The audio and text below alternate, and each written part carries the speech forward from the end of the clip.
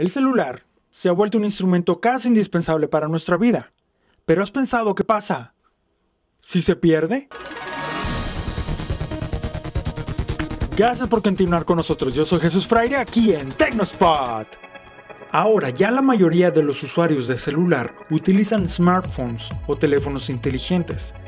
Hoy en día traemos a estos acompañantes de la comunicación a todos lados. Pero ¿qué pasa si se nos pierden? ¿Estás dispuesto a que alguien vea tus contactos, haga llamadas, entre a tu correo o compre cosas por internet bajo tu nombre? Aquí te diré un par de pasos a seguir para estar protegido. La más obvia es ponerle un candado.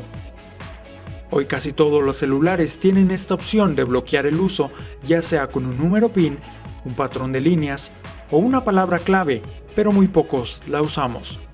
Aunque puede ser un poco frustrante el tener que tomar este paso cada vez, es una manera fácil de proteger el contenido de tu teléfono.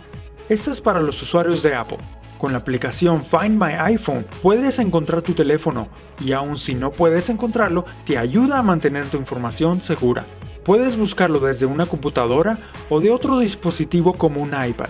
También puede permitirte mandar un mensaje y sonido aun si el teléfono está con candado o con el volumen apagado. De esta manera, si está cerca de ti, puedes oírlo y alertarte de su lugar.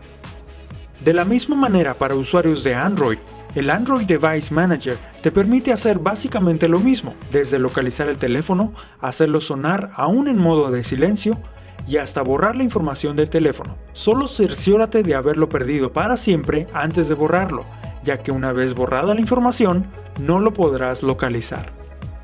Otros consejos que pueden servir es ponerle un protector visiblemente llamativo, ya que si es negro y se confunde con el ambiente, puede pasar desapercibido si andamos distraídos.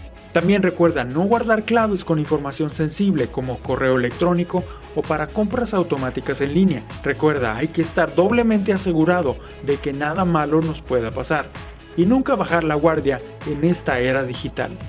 Eso es todo de mi parte y no se les olvide darle like a la página de Facebook. Yo soy Jesús Fraire y nos vemos en la próxima cápsula de Tecnos. ¡Pa!